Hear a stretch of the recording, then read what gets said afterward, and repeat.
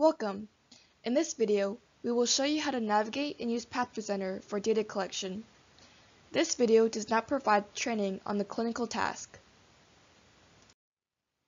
Please begin by creating a PathPresenter account.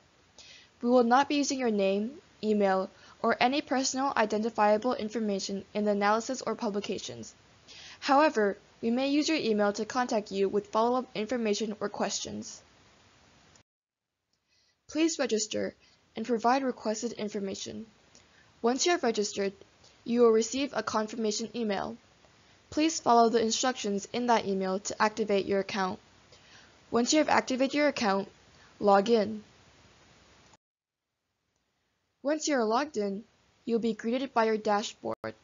To begin collecting data, click View Public Events in the bottom right. Then, choose a batch to start annotating.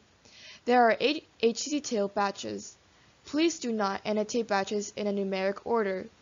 Select one at random and begin evaluating. You will then see a list of whole slide images. This is the batch work list. Click in the top left corner for some resources. You can retrieve the clinical tutorial, the navigation and training tutorial, and the informed consent form. To begin, select Analysis. Before collecting data, please make sure that you watch the clinical training video and make sure that you're registered on the HT Data Collection sign-up. Here is the default data collection view. It launches in a new browser tab. The main area shows the entire whole slide image. The black boxes are the regions of interest to be evaluated. You can zoom in and out with the mouse scroll wheel and click and drag the image with the mouse to navigate around. The buttons at the top of this view provide navigation and workflow tools.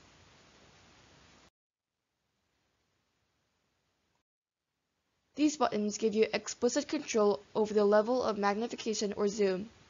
The red outline of the 40x box indicates that the slide was scanned at 40x. It is recommended to do TILs assessment at 20x on a screen that can show the entire ROI. If you click on this button, you will see a thumbnail or navigator's image. Clicking on the thumbnail will move the field of view to that location. These two buttons allow you to view the interface full screen or take a snapshot. The Information button provides a quick access to training materials. To begin annotating regions of interest, click Next. This is the recommended way to navigate between ROIs. When an ROI is selected, the field of view zooms in to show the ROI at 20x. In this image, you can see the red lines of the ROI bounding box. In order to see the full ROI, you may need to zoom out or pan up and down. Here is the annotation panel. You can navigate between ROIs by clicking on the buttons in the annotation panel. An ROI button that is marked green indicates that the ROI has a saved annotation. The first step for your annotation is to select a label for the ROI. Then, in the second step, determine and record the percent of tumor-associated stroma that is within the ROI. In other words, how much of the ROI is tumor-associated stroma, where the denominator is the area of the ROI.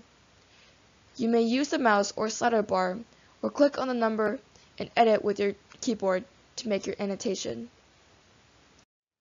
Then, assess the density of the stromal TILs within the ROI.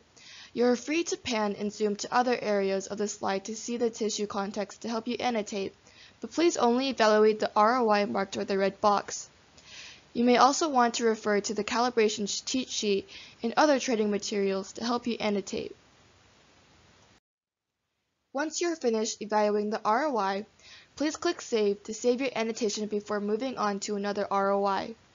Once you have completed the entire slide, you can close the Browser tab and return to the Browser tab with the batch work list. Please continue with the rest of the slides within each batch you start. We may not be able to include partial batch results. Once you have completed all the slides in a batch, you're welcome to click on the dashboard button and navigate to another batch. Please complete as many batches you would like. We would prefer if you complete all eight. Thank you for your attention and time. If you have any questions, please email the HC project leads Dr. Brandon Gallas or Dr. Kate Elfer. This concludes the data collection training video for PathPresenter.